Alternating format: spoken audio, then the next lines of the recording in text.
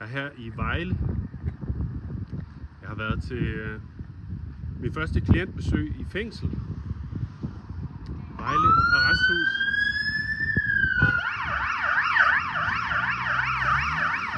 Øh, Jeg vil blive langhåret, blive langhåret. Advokat snart.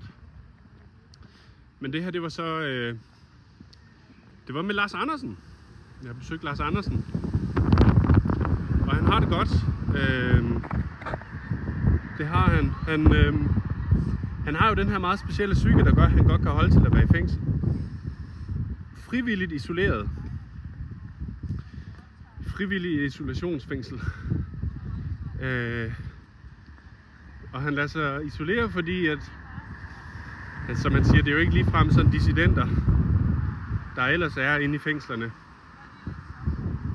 De har planer om at, at retsforfølge ham for, for yderligere tiltaler. Og nu hvor øh, de har styr på, hvor han er, jamen så har de sådan rykket nogle af, af tiltalerne fremad. Så han... Øh, så de sådan kan, kan eventuelt sådan retsforfølge for yderligere tiltaler. der. Og afhængig af hvordan det går, så hvis man ser mørkest på det, så kan det være først i 2025, han kommer ud. Mens, mens han har nogle, nogle andre planer for ligesom at prøve at blive øh, datalogistuderende, mens han er indsat og, og potentielt kan komme ud til februar næste år. Øhm, jeg printede noget, øh, noget materiale til ham. Øh, noget han kunne læse på. Jeg havde sendt, øh, sendt ham Areopagitica af John Milton, som er det her ytringsfrihedsværk. Og så øh, Thomas Carlyle as, øh, On Heroes and Hero Worship, som ligesom er det her værk, der, der siger noget om øh, den her idé om, at historien ikke bare er øh, sådan et, et fysisk givet øh, resultat af teknologifremskridt, men ligesom er, er noget, der påvirkes af mennesker og deres idéer og de ting, som de tror på. Og det tænkte jeg sådan, det kunne være meget inspirerende for Lars at læse lidt på, mens han har meget fritid, som han siger. Der er to, der har besøgt ham indtil videre. De har begge hed, øh, hed Rasmus. Den ene hedder Paludan til efternavn, og øh, den anden hedder Søndergaard til efternavn, det er mig. Og de er begge øh, kandidater i jura. Øh, Lars og jeg, vi har også øh, vi har snakket om vi har snakket om øh, mulige sager, vi kan køre, fordi han har det her ønske om at komme, komme på Københavns Universitet og studere, mens han er indsat.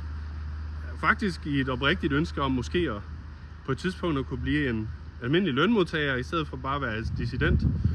Jamen, øh, så måske at kunne få lov til at få udgang i løbet af dagene for at, for at studere. Det er et stort ønske, han har. Øh, og som måske kunne sådan gøre det noget nemmere.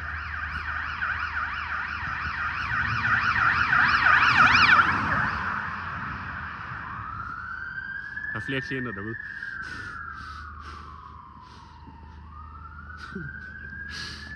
Nej, men øh, et stort ønske, han har. Og, øh, og ligesom studere imens. Og vi snakkede om, øh, at jeg skulle gøre noget arbejde for at kigge på, hvad der er af rettigheder, også efter menneskerettighedskonventionerne, for indsatte inde i fængslerne. Øhm, så det vil jeg synes var en super spændende sag at, at kigge på, og måske skal det blive sådan noget med øh, sag mod øh, Kriminalforsorgen øh, også og sådan noget. Det er meget spændende.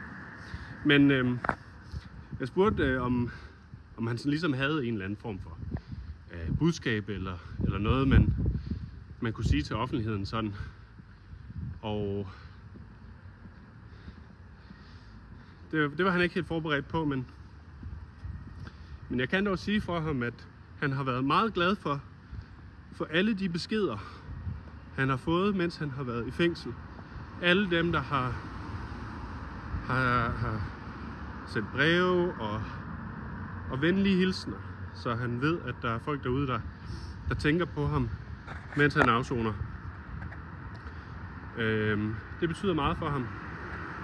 Så det vil jeg bare opfordre folk til at blive ved med at, at gøre. Øhm, og jeg blev også spurgt af rigtig mange mennesker, øh, om hvordan det går med Lars, og hvornår han kommer ud og sådan noget. Men, men ikke engang han selv ved det rigtigt, fordi der, der er jo de her ting, der hænger over ham, og de vil forsøge at, at gøre hans afsoningsperiode længere. Men igen, han har det godt. Øh, den her specielle psyke, en, øh, en mand med en frihedstrang, men den er jo mest sådan intellektuel, siger han. Er det ikke sådan, at han har behov for sådan at, at gå og bevæge sig så meget frit i, i hverdagen, øh, rent fysisk på den måde. Så jeg synes, han er en god mand, og det er en fornøjelse at, at prøve at få lov til at, til at arbejde på, på, at han kan få gode vilkår og, og have med ham at gøre. Det føles lidt som sådan næsten at, at have lavet en eller anden YouTube-samtale med ham, så sådan, at nu performer vi agtigt, når der er, vi snakker sammen, selvom det bare er os to. Og, og sådan. Så ja, det var vist bare, hvad jeg havde at sige. Så jeg håber, folk vil skrive til ham. Og så øh, håber jeg, I får en dejlig sommer derude. Øh, I det gode danske land.